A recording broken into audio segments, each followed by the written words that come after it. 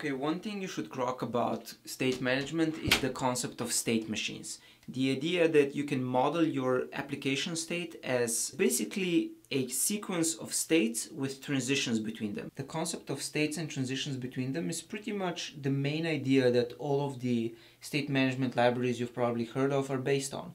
Redux is based on this idea, MobX is pretty much based on the uh, StateX is explicitly based on that, and unstated, well, you can use state machines to help you think about how you how you design your application. Now, thinking in state machines doesn't really come natural to most people, so we're going to do a little practice. We usually draw out state machines as a series of circles which represent our states and arrows that represent our transitions between between the states. We can model our transition between these states as an, a little arrow where if this is a toggle, clicking on it gets us from on to off and clicking on it again gets us from off to on. That's like a super simple state machine.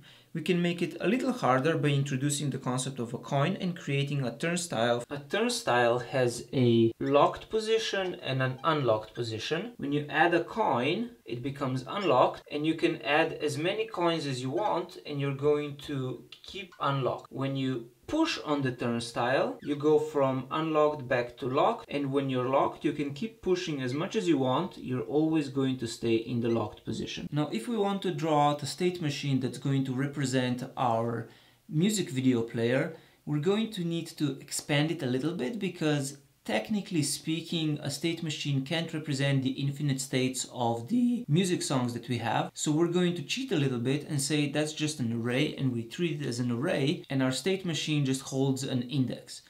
Ideally, we would have to we would have to treat that index as a separate state for each value, but we're not going to do that. That means our finite state machines are not technically mathematically speaking state machines, but it works as a general idea. So what we're going to need is an index state that that counts, so goes plus one or minus one, and a, a toggle state that's either play or not play.